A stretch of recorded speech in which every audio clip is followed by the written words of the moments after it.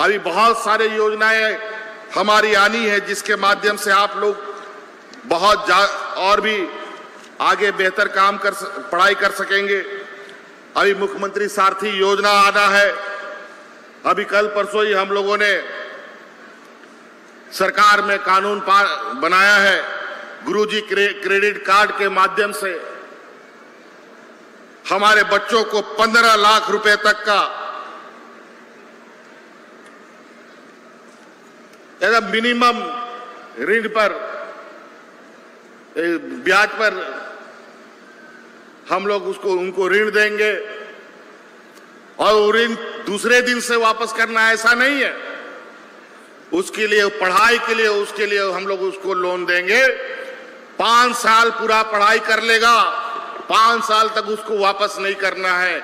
छठा साल वो अपना रोज़गार ढूंढेगा। सातवां साल के बाद सरकार को धीरे धीरे पैसा वापस करेगा। आप जाके बैंक में दिखाइए कितना पैसा आपको लोन देता है। झारखंड का बच्चा का, यहाँ का आदिवासी दलित, पिछड़ा गरीब को बैंक लोन देता है? कभी नहीं देता। है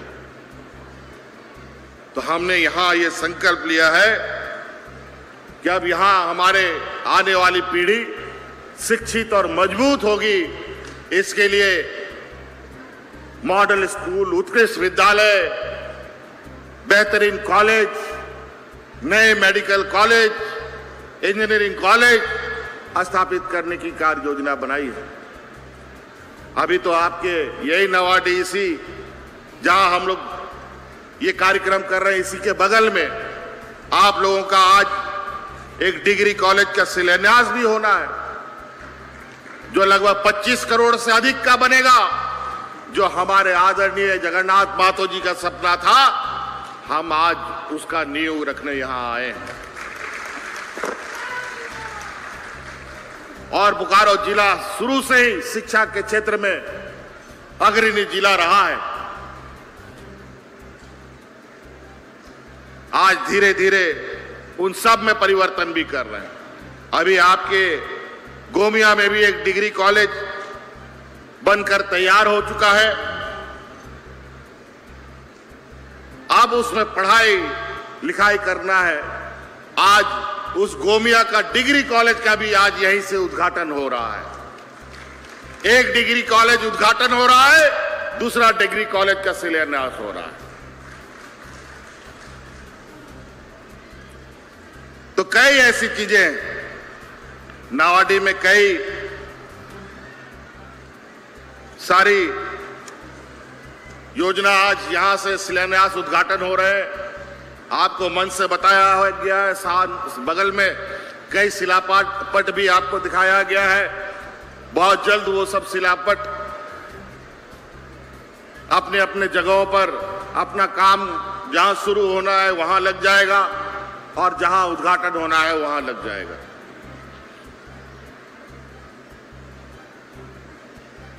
महिला कॉलेज हो, बच्चों का पहली क्लास से लेकर के डिग्री तक का व्यवस्था हम लोग कर रहे हैं। तो कई चीज़ें हैं। आज यहाँ पर लगभग दस हज़ार लोग यहाँ उपस्थित हैं, जिनको आज सरकार के द्वारा विभिन्न योजनाओं से जोड़ा जाएगा। कुछ महिला दीदी, लोग यहाँ आकर के अपनी बातों को रखा। कुछ नौजवान भी यहाँ आके अपनी बातों को रखा। सुनकर मुझे बहुत खुशी हुई। कम से कम आप लोग, सरकार जो योजना बनाती है, वो आपके लिए योजना बनाई है। आप हाथ दीजिए, सरकार आपको दोनों हाथ से पकड़कर अपने पैरों पर खड़ा होने का रास्ता दिखाएगी। आप आगे बढ़िए तो सही, आप एक कदम बढ़िएगा तो चार कदम सरकार आपके साथ आगे बढ़ेगी। इस सोच के साथ सरकार चल रही है।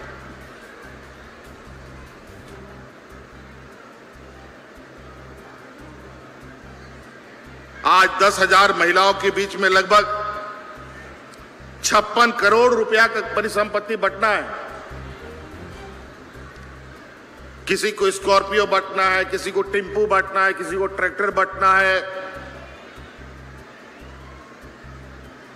सेल्फ हेल्प ग्रुप को, हमारे महिला दीदियों को राशि मिलने हैं। कई ऐसी चीज़ें। आज सरकार गाँव के लिए, शहर के लिए छोटे छोटे कस्बे के लिए कई योजनाएँ चला रही है। मुख्यमंत्री रो, रोज़गार मुख्यमंत्री रोज़गार योजना के माध्यम से स्वरोजगार आप खड़ा कर सकते हैं। पचास हज़ार से लेकर के पच्चीस लाख रुपए तक का आपको सरकार लोन दे रही है।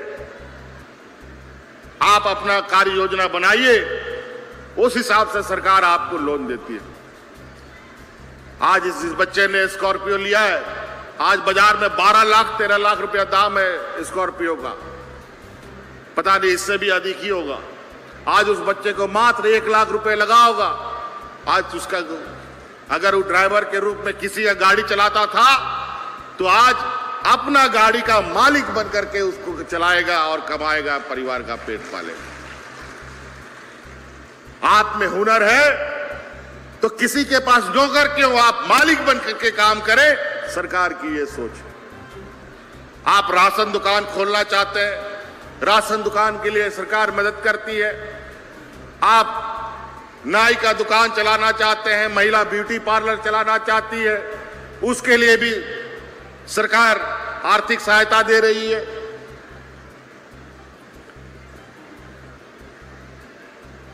जूता, चप्पल, कपड़े का दुकान, होटल, रेस्टोरेंट और आजकल गाँव देहात में टेंट हाउस का काम बड़ी जोरों से चलता है, टेंट हाउस का काम करना चाहते हैं। उसके लिए सरकार राशि दे रही है।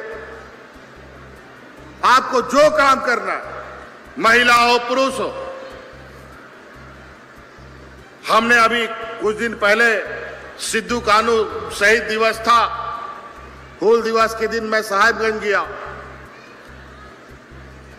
और उनके शहादत और जयंती पर हर बार हम लोग वहाँ उपस्थित होते हैं। और बड़ी खुशी की बात है, इन दोनों कार्यक्रमों के माध्यम से लगभग वहाँ पर 20 से अधिक ट्रैक्टर बटे गए।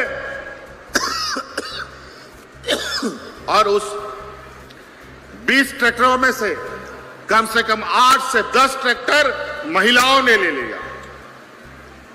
हमने जब जानने की कोशिश की कि महिलाओं ट्रैक्टर कैसे ले रही है भाई? इसको चलाएगा कौन? तो उन महिला दीदियों ने कहा कि हमको भी आता है चलाने के लिए। फिर भी हम नहीं माने।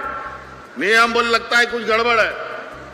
कार्यक्रम समाप्त होने के बाद हमने उन सभी महिलाओं को बोला कि आप लोग ट्रैक्टर चला के दिखाइए और फर्राटेदार इन लोगों ने ट्रैक्टर चला के दिखाया।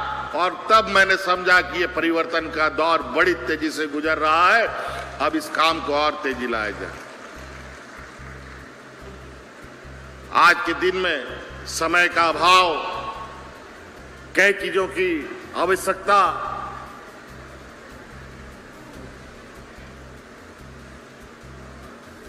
को ध्यान में रखकर महिलाएँ स्वरोजगार के लिए भी निकल रही है, खेती बाड़ी का भी काम मजबूती से कर रही है। मुख्यमंत्री पशुधन योजना हम अभी चालू कर रहे हैं। गाँव देहात में गाय, बकरी, मुर्गी, सुअर, भेड़ बतख जो पालना है आपको, वो आप पालिए। और गाँव की जो पहचान है, उसको जीवित कीजिए। आपको हम बताएँ, सुनकर आश्चर्य होगा कि आज के दिन में हमारे राज्य में जो बच्चे पैदा हो रहे हैं वो बच्चे कई बीमारियों से ग्रसित बच्चे पैदा हो रहे हैं। 40 प्रतिशत बच्चे हमारे कुपोषित बच्चे पैदा हो रहे हैं। क्यों? आज के दिन में भी कई जगह हम देखते हैं कल परसों कोई बूढ़ा बुज़ुर्ग मर गया जिसका उम्र 100 साल से ऊपर हो जाता है। 102, तीन चार पाँच साल तक के लोगों को हमने इस दुनिया से जाते हुए देखा है। लेकिन आज हमारे बच्चे इतना कमज़ोर क्यों पैदा हो रहे हैं? वो इसलिए कमज़ोर पैदा हो रहे हैं कि हम लोगों ने अपने पूर्वजों की परंपरा व्यवस्था को खत्म कर दिया अपने राज्य से जुड़ी हर ताज़ा खबरों के लिए आप हमें सब्सक्राइब करें, साथ ही बेल आइकन बटन दबाना ना भूलें।